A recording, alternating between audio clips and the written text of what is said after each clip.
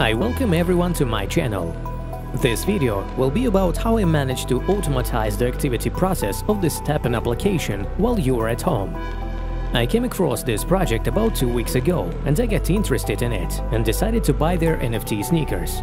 Unfortunately, after that, I encountered some minor bugs in the application. I tried to stick to the optimal driving speed, my internet and GPS connection was always stable, but my results lagged far behind the results of other users of the application. Eventually, I was disappointed and started thinking about how I could solve this problem. My knowledge of programming languages helped me in solving this problem. It was a difficult week, but I was interested in challenging their anti-cheating system. Unfortunately, the artificial intelligence of their application is far from perfect. As a result, I managed to bypass their detect cheating, as well as a few more shadow items that were not listed on the site. Now I want to show you a fully working beta version of my program. I didn't really try to design the program because its functionality is more important to me. Let's look at what functions are available to the user. First, we can choose the type of sneakers. Depending on it, the program will automatically adjust the best speed of movement. Second, the program determines your location, as well as builds a route itself, depending on the selected activity time. I also forgot to mention that manual selection of the activity time is available in the program. To start using the program, firstly we need to connect the phone to the PC using a USB cable and click Trust this computer. After that, run the program. The information about the connected device should be displayed in the upper left corner. Don't forget to switch Wi-Fi to mobile internet in your phone.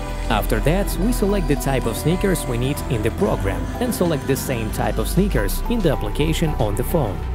I'll give you an example on jogger sneakers. Next, select the activity time. In my case, I will choose 5 minutes. Let's move on to the most important thing. First of all, we press the Run button in the program on the computer. After that, press the Start button on the phone. The countdown is on. At this time, the program builds a route and starts moving. Now I'm showing you how it works. You can see that my phone is near the computer, connected via USB, and at this time the STEPN application shows that I'm moving at an average speed of 5 km per hour. Wow, we did it! The program works perfect. I will not shoot the whole process in order to not take up a lot of your time, and I will show you only the beginning and the end of the process. I also forgot to say that the program can be stopped manually by pressing the stop button in the program. Then follow the program prompt. You can download this program in the description under the video. Since this is the first version, it is possible that there will be some flaws in it. Therefore, I left my email in the description, in which you can send comments and suggestions about the program. Thank you all for watching, I hope this video was useful for you.